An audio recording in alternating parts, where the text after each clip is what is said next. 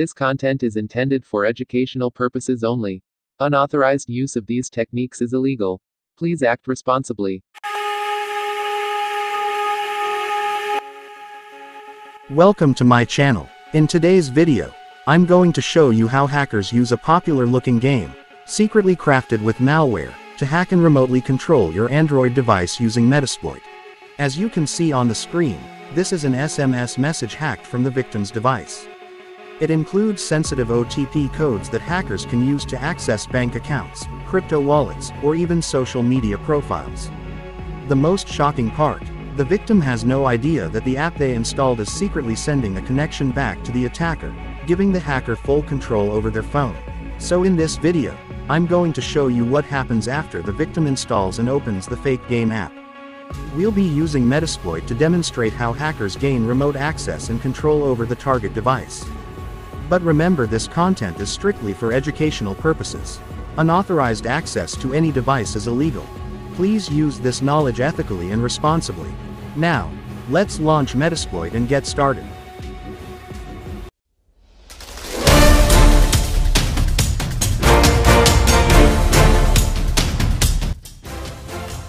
As we can see Metasploit MSF console is loading, so we have to wait a few moments.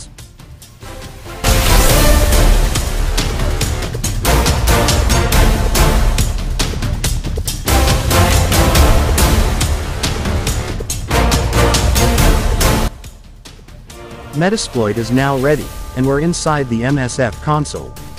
The next step is to load the specific exploit module that will allow us to interact with the target Android device. Now let begins.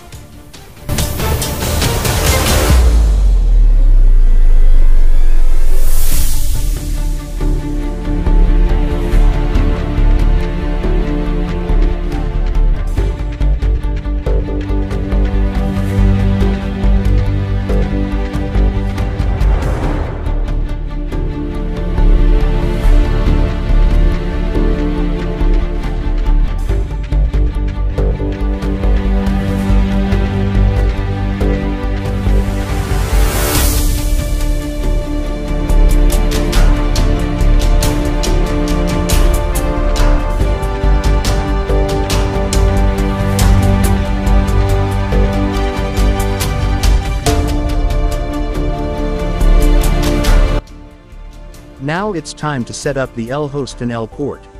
Since the backdoored APK has already been built, we're just focusing on the attack demonstration. I'll enter the local IP address and port that the malware is configured to connect back to. This is what establishes the reverse connection from the victim's device to the attacker's machine.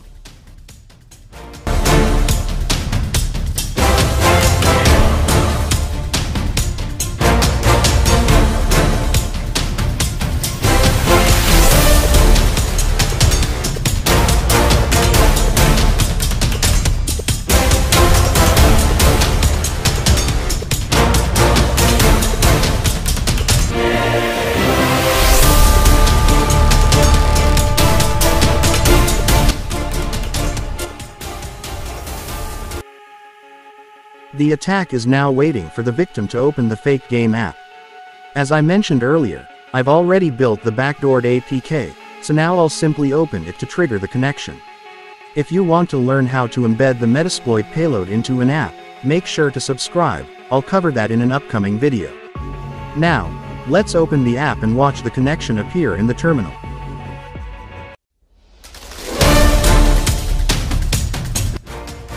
As you can see, the moment the app get open, it's immediately get connected back to the hacker terminal. So let begins the post-exploitation on the target Android phone, by checking the type of phone the target is using and also check if the target phone is rooted.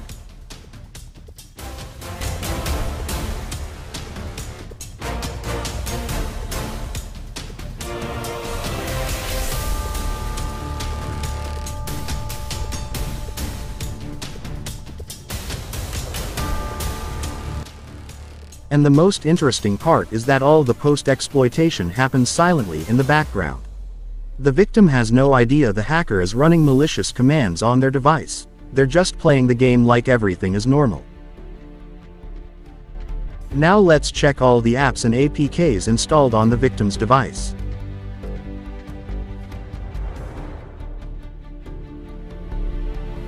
This step is very important, because it allows the hacker to look for sensitive apps like banking apps or crypto wallets. From here, the attacker can build a strategy to target those accounts and potentially transfer money or cryptocurrency. L.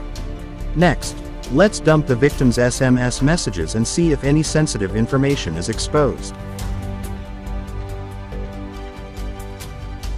The SMS text file has now been dumped.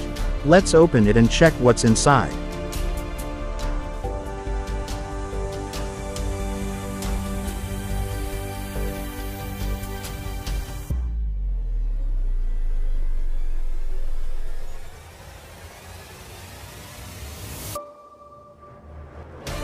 Wow.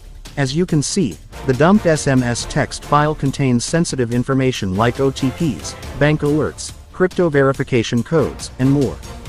This single technique can be used to hijack a victim's wallet, social media accounts, or even bank apps, all without them ever realizing it.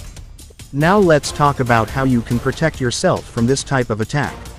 Shield to stay protected from attacks like this, avoid downloading apps from unknown sources. Only use trusted app stores like Google Play. Be careful with app permissions. If a simple game asks for access to your SMS, camera, or storage, something's wrong. Use a good mobile security app to detect suspicious activity. And instead of relying on SMS for OTPs, switch to an authenticator app for better protection. Regularly check your installed apps and remove anything unfamiliar. Also, make sure your phone is always updated, those updates often fix security flaws hackers rely on. And don't forget, if you're an ethical hacker, bug bounty hunter, or penetration tester and you want to learn how to bind a payload inside a popular app like this one, make sure to like this video and subscribe. I'll be covering that in detail in my next upload.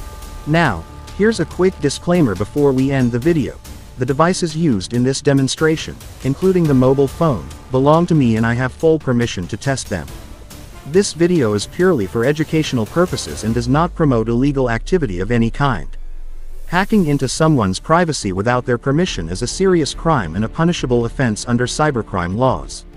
Always stay ethical, and stay updated with the latest trends in cybersecurity. See you in the next video. Thanks for watching. Don't forget to subscribe and click the bell icon to stay ahead in cybersecurity. Check out more videos here to keep your knowledge sharp.